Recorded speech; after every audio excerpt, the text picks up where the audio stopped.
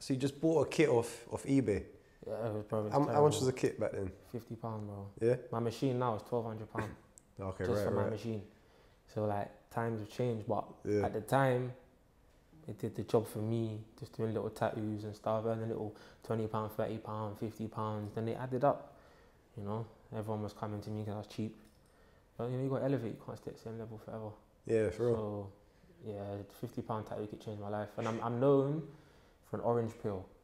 So I tattooed an orange pill Yeah. that says love, and then I put like that compared to what I do now as a comparison. And they went crazy on Twitter.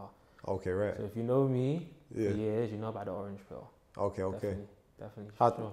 So, all right. So you grab a tattoo kit, and how how do you practice? How do you kind of get started? Um, I practiced on fake skin. Like I said, uh, orange pill or orange. I used the melon. I didn't use like pig skin like some people suggest. All right. Just didn't touch that. I just did line work on fake skin and stuff. Um, and I've tatted myself. Um, I tatted a star on my leg. I covered that now. I've tatted my forearm, and then just tattooed people in the area really, you know. And then just worked up from there. I went and got tattooed by like more experienced artists Yeah. to learn. So I saved up my money, paid the money. So every time I'm there, I'm just learning and learning and learning, right? So yeah, that was that was the key key for me to get tattooed by other artists to learn. That's sure. good. Yeah. Yeah. So, if you're just starting out and it's like you you want to do practice, Mhm. who do you, who do you kind of how do you start getting clients? Because obviously people might not trust that you. No, of course. you know, years course. ago, obviously, yeah, yeah, yeah, Back then it was like word of mouth, just posting stuff on my Instagram or Snapchat, um, just me practicing, and then someone would be like, "Oh yeah, come, like you can do it on me."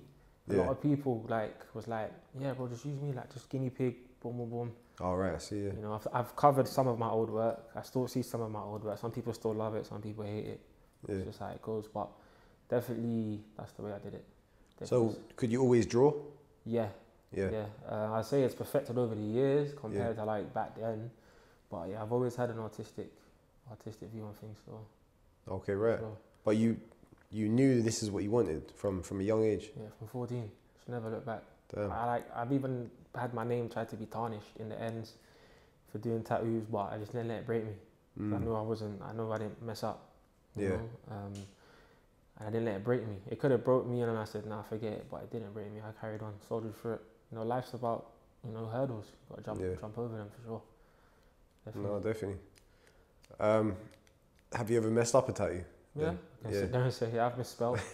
But you know, oh, it's- serious? yeah, yeah. It's, it's, it's a learning curve, Yeah, though, yeah, right? yeah. It's like before I was like banging out tattoos. Now it's like, alright, cool.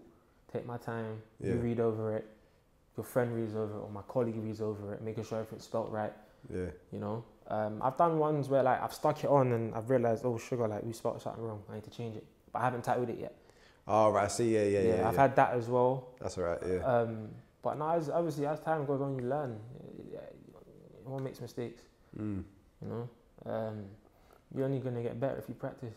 No, that's just- true. If you don't, if you just get to one hurdle, you can't pass it. You're never gonna elevate. So it's, it's very important to just soldier through the failures for sure. If a young person wants to start out as a tattoo artist and they want to kind of see it as a career, what, what would your advice be? Where, where do they start? The same place you did? Um, I'd say like if they can get an apprenticeship, get an apprenticeship. Okay, right. Um, it does help and push you a lot more. I didn't really have help, so I had to do everything on my own. Mm. I don't regret it.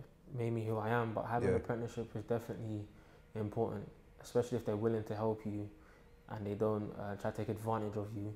Mm. Very important to have an apprenticeship because then you just you're around so much artists that have different styles. You can learn. You can say, no, I don't like line work. I want to do shading. I'd Mm. rather do shading, realism. It's just to have that surrounding is good. So I'd say definitely an apprenticeship to go for. Um, and just ask for advice from other artists. Some artists are like don't want to give it. Some artists do. Um, but I'd say like save up and get tattooed by more experienced artists, Mm. just so you can learn. Like you never know what you can learn, man. I've learned so much. Like I get tattooed by artists, and I'm just like, how far out? How far out have you got your needle? Like what technique are you using? I do that 11 years in Yeah. always trying new techniques to better myself. You know, trying to learn new things for sure. So I'd say definitely an apprenticeship though. Yeah. Definitely, yeah. But where, where can you find apprenticeships? It's, Is it colleges or? Nah, it's just literally walking into the studio Oh, right, right. or you know, well, uh, knowing someone that's in there, coming with a portfolio. Um, mainly that really. It's not easy to just get into. to Be real.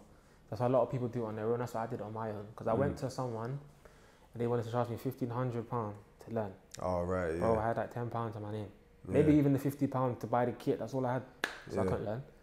But it's crazy because as years went on, I've covered his work. So I don't do cover ups no more. Just FYI, but I've covered his work.